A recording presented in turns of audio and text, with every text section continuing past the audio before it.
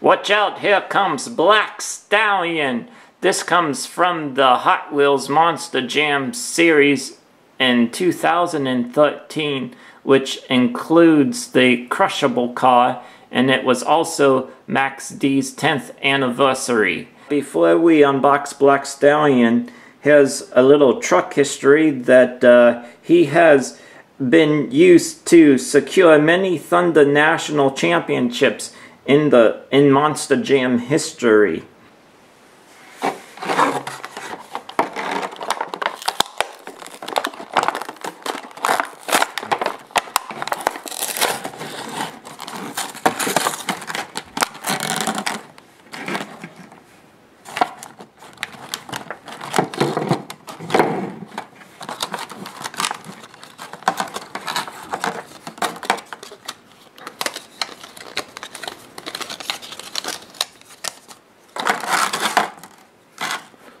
We'll just put this aside for right now.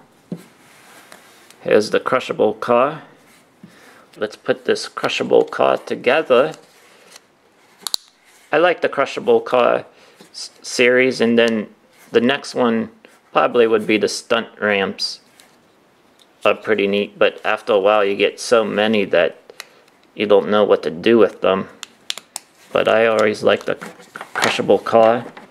So let's take a closer look of Black Stallion up close.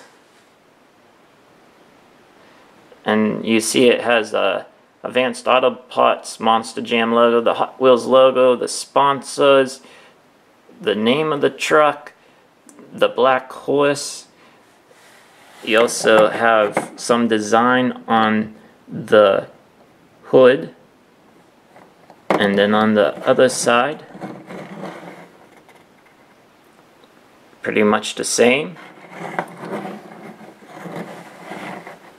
Then it has Michael Vaters on the back and on the roof it has the two, 2005 2016 Thunder Nationals champion which is pretty cool and so they came out with these uh, they put these green wheels on, which uh, to me I don't really don't I don't really like them as well as uh, some of the other colors, but I guess it goes along with the uh, color scheme of the paint job on the body. So uh, yeah, it looks good, I guess. So um, yeah, thank you for tuning in to the unboxing of Black Stallion from the 2013 series.